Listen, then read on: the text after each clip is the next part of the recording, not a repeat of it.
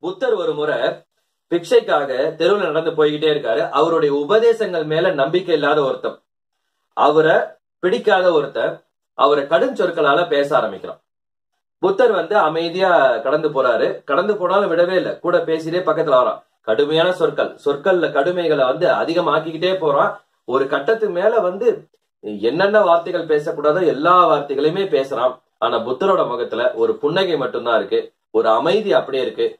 ஒரு சலனம் கூட இல்ல. அவர் அப்படியே நடந்து போய்கிட்டே இருக்கார். ஒரு அளவுக்கு மேல இவனுக்கு சலிப்பு ஏற்பட்டு போயிடுது. என்னடா இந்த அளவுக்கு திட்டுறோம்? இந்த மனுஷன் என்னடான்னா அப்படியே அமைதியா போயிட்டு இருக்கானே அப்படின்னு சொல்லிட்டு பொறுமை எழுந்து போய் அவனே திட்டுறது நித்திரி கேக்குறான். என்ன உங்களுக்கு இவ்வளவு திட்டுறேன்? கொஞ்சம் கூட சொரணையே இல்லாம இப்படி சிரிக்கிறீங்களே? உங்களுக்கு எல்லாம் கோவமே வராதா? அப்படின்னு கேட்ட உடனே அதுக்கு புத்தர் ரொம்ப நிதானமா பொறுமையா ஒண்ணு சொல்றாரு. நம்ம எல்லாருமே இதை தெரிஞ்சுக்கணும். தினசரி வாழ்க்கையில நம்ம எல்லாருமே தெரிஞ்சுக்க வேண்டிய ஒரு விஷயம் தான் இப்ப புத்தர் சொல்றாரு.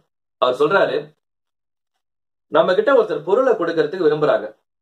அந்த பொருளை வாங்கணுமா வேண்டாமாங்கிறத நம்ம தான் முடிவு பண்ணணும். ஒருவேளை நான் அந்த பொருளை வாங்கலைன்னா அது யாருக்கு சொந்தம்? அப்படின்னு கேட்டோன்னே அவன் சொல்றான் யார் பொருளை கொடுக்க முயற்சி பண்றாங்களோ அவங்களுக்கு தான் சொந்தம் மறுபடியும் அதே மாதிரிதான் உன்னுடைய வார்த்தைகள் உன்னுடைய கடுமையான சொற்கள் இது எல்லாமே நான் வாங்கிக்க விரும்பவே இல்லை. அப்ப இது எல்லாம் யாருக்கு சொந்தம்? உனக்கு தான் சொந்தம். அப்படின்னு முடிக்கிறார்.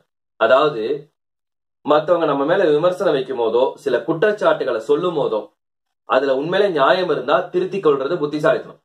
இல்ல தேவையில்லாத குற்றச்சாட்டுகளை தான் அவங்க சுமத்துறாங்கன்னு தெரிஞ்சது பிறகு அதை உள்ளுக்குள்ள வச்சுக்கிட்டு புலம்பிக்கிட்டு அதை நினைச்சுக்கிட்டே சிந்தனை பண்ணிக்கிட்டு நம்மளுடைய முகத்துல அதனால மாற்றங்கள் இல்ல வீண் விவாதங்கள் கோபங்கள் வந்து இப்படிலாம் நீங்க ரியாக்ட் பண்ண ஆரம்பிச்சீங்கன்னா அவங்க கீ கொடுக்கற பொம்மையா நீங்க மாறிட்டீங்கன்னு அர்த்தம்.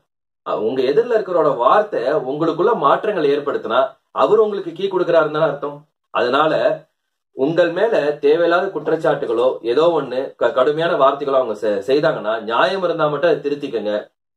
சரியான விதத்துல அதுக்கு பதில் கொடுக்கலாமே தவிர அதுக்காக நீங்க புலம்பிக்கிட்டு உங்க சிந்தனைகளை ஒரு மாதிரி சுருக்கிக்கிட்டு பண்ணீங்கன்னா அது உங்களுக்குள்ளதான் பிரச்சனைகளை ஏற்படுத்தும்.